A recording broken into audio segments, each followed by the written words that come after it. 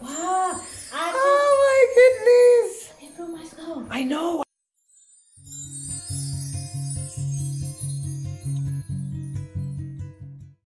Day two of separating Rudo's eight months of regrowth and a great opportunity for those inquiring about the difference visually between interlocked and knotted locks. Rudo's locks was started with an interlocking method, a standard interlocking method.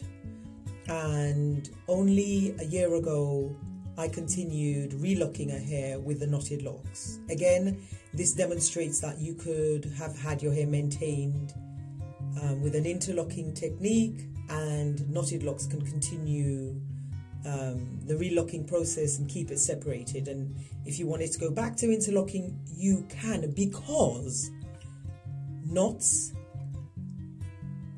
are all throughout your locks. Your locks are a collection of knotted locks, really. I'm just fast forwarding the process and making life easier because if I had interlocked, it would have taken a load more days. And because Rudo's locks were knotted, the eight month growth was taken care of very quickly in two days. So it is a no brainer. Knotted locks all the way. And hopefully, this helps answer your questions in terms of why I do what I do and how the locks would look. These are Rudo's locks. Eight month regrowth taken care of in two days. I love knotted locks.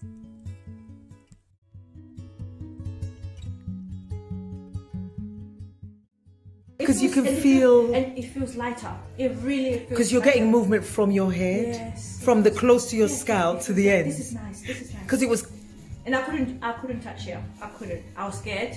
Like to. Touch, Yeah. Like to be. That's why I Yeah. pushed it back. yeah, very. Wow. I Oh my goodness!